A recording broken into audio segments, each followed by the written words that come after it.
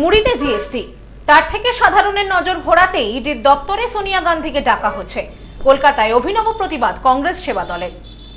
গরিবের মুড়িতে জিএসটি। আর তার থেকে নজর ঘোরাতে অসুস্থ সোনিয়া গান্ধীকে কেন্দ্রীয় সংস্থাকে দিয়ে হেনস্থা। এমনই অভিযোগ তুললেন কংগ্রেস সেবা দলের কর্মীরা।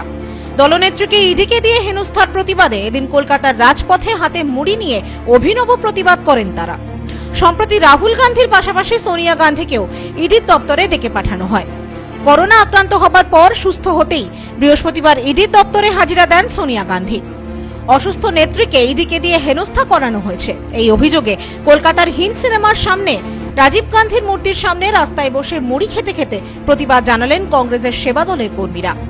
এ বিষয়ে কংগ্রেস সেবা দলের সভাপতি প্রমোদ পাণ্ডে বলেন, সাধারণ মানুষ সব বুঝতে পারছেন। কেন্দ্রীয় সরকারের এই অন্যায়ের বিরুদ্ধে কংগ্রেস কর্মীরা রাস্তায় নেমে প্রতিবাদ করছে। আমরা লাগাতার এভাবেই প্রতিবাদ চালিয়ে যাব।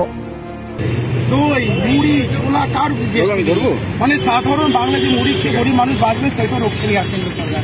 সেগুলো জিএসটি লাগিয়ে দিয়েছে। আর আমাদের সভানেত্রী সোনিয়া গান্ধী অসুস্থ ইডি মামলা ফালতু ফালতু মানে বিভ্রান্তি করার জন্য জিএসটি বিরোধী দল। মনটা ওদিকে চলে যাক বলে একটা কেলেঙ্কারি ইডি সবসময় ডাকছে এর প্রতিবাদে আমরা সোনিয়া গান্ধী ইডিকে ডাকাচ্ছি কেন? আর জিএসটির প্রতিবাদে আমরা আইন করেছি আর যুব কংগ্রেস রাস্তায় নেমে প্রতিবাদ করছি। সোনিয়া, আমরা কংগ্রেসের তো রাস্তায় নেমে ইডি প্রতিবাদ করছি কেন্দ্র সরকার। তো বিরোধীরা এক হোক, যদি এক করুক, ওইখানে ওইখানে দেখাচ্ছে প্রেসিডেন্টের জন্য বলছে, আমি সমর্থন করব না। তার মানে কি? কার সাথে কে আছে? ওই জন্য ওটা সরি বুঝুক মানুষ এখানকার বাংলা, ওটা গেম সবাই জানে।